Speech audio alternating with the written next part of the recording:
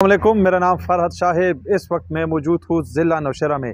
ज़िला नौशेरा की बात की जाए तो सियासत के हवाले से ज़िला नौशेरा भी एक अहम मुकाम रखता है, जो कि नौशेरा को उलिया कराम का शहर भी कहा जाता है। नौशेरा में पाँच सूबाई और दो कौमी इसम्बली के हलके मौजूद थे जिसमें टोटल वोटरों की तादाद नौ लाख है जिसमें तीन वोटरों की तादाद चार लाख दस हज़ार है। नौशहरा की आवाम से राय जानते हैं कि आप वोट किस को देंगे और आप किस को सपोर्ट करेंगे। आइए हमारे साथ।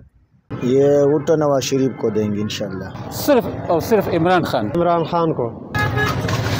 इमरान खान। खान को? वोट किसी को भी नहीं जी। वोट इंशाल्लाह इमरान खान को दो। पीटीआई। और इनशाला नवाज़ शरीफ का। और तो इनशाला देंगे नून लीग को। इमरान खान को।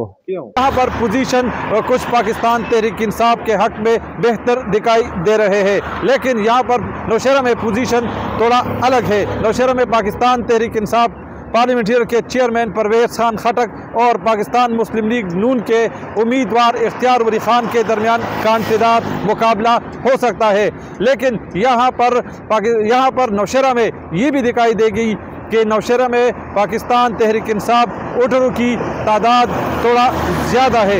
इसकी परसेंटेज और पार्टियों से ज़्यादा है। लेकिन ये फैसला 8 फरवरी 2024 को हो जाएगा कि कौन किस को जितवाएगा।